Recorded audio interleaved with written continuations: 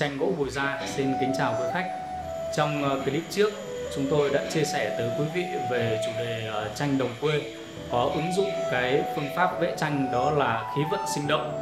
Và trong clip này chúng tôi sẽ tiếp tục khai thác cái chủ đề vẽ tranh ứng dụng cái nguyên tắc là khí vận sinh động và trong cái bối cảnh tranh đồng quê nó có những cái sự khác biệt và có những cái đường nét rõ ràng và đầy sinh khí ra làm sao thì trong clip này chúng tôi sẽ giới thiệu tới quý vị sâu hơn và cụ thể hơn. Là quý vị nhìn thấy thứ nhất là nó có hai cái cái cái hàng cột nữa với những cái đầu con phượng rất là đặc trưng. Và cái thứ hai nữa đó là những cái cây cau rất là thẳng. Đó chính là những cái rất là đặc sắc của Việt Nam mình. À, mình nhìn thấy những cái cây cau những cái đường nét hoa văn rất là cổ kính những cái con phượng như này là mình cảm nhận được ngay. Đó chính là quê hương của Việt Nam. Ờ, rồi có mấy bà lại ngồi đằng trước ờ, hai bên cửa đình ấy bán ờ, mấy cái tấm vải lụa. Rất là mềm rất là thư thái. Có lẽ là hai bà này thậm chí còn đang đi mua để về tặng đồ cưới hay sao? À, quý vị có thể cảm nhận được thấy đó là cái nét mặt nó rất là tươi. Mặc dù quý vị đánh giá bằng tỷ lệ thì nó không thực sự là chính xác ở trên cái cái khuôn mặt hoặc là trên cái tay.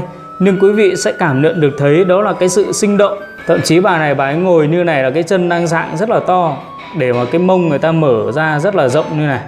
Đó thì thì chỉ cần nhìn vào tranh thôi là quý vị cũng đã nhìn cũng đã cảm nhận được những cái cái sự khác biệt và những cái khí chất ở trong một cái tác phẩm.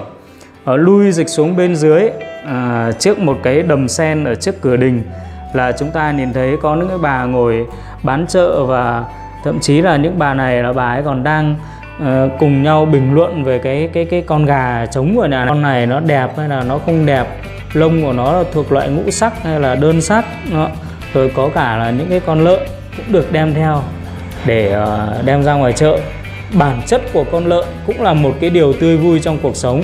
Vậy nên là thông qua những cái nét vẽ của tranh gỗ bùi da, chúng ta cũng cảm nhận được là con vật nó cũng có sức sống cũng có cái cái nét tươi vui ở trong cái cái cái tác phẩm và bản thân nó cũng đã truyền tải được một cái cảm xúc tích cực đến cho uh, quý vị uh, rồi có những cái uh, bà đội uh, gọi là cái nón quai thao bản nón to đem đi chợ rất là đặc sắc của người Việt Nam.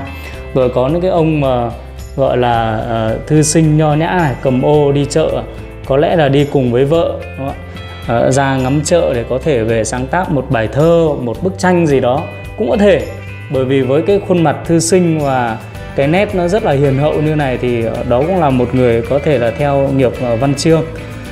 Rồi những cái ờ, bà bán con cá nó to như này nó cũng là một cái tượng trưng của một cái cuộc sống rất là no đủ và rất là hạnh phúc. Đó, rồi một cái ờ, bác nông dân ờ, đang đi cày về đó đây là cái lưỡi cày này. À, đây là cái quai trâu. Bác cái vác lưỡi cày quai trâu rồi cái roi đánh đánh trâu.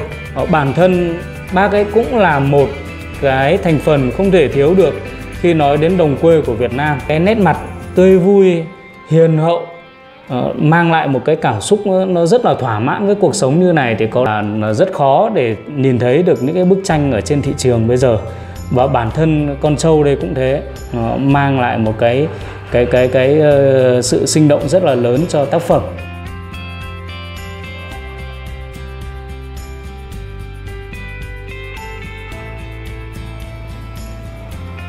Và sau khi quý vị đã thưởng thức tác phẩm ờ, đồng quê này đi qua những cái chi tiết rất là sâu ở từng bên trong thì ờ, quý vị sẽ cảm nhận được đó là cái sự uh, sinh động ở trong cái bố cục cũng như là trong từng đường nét của bức tranh.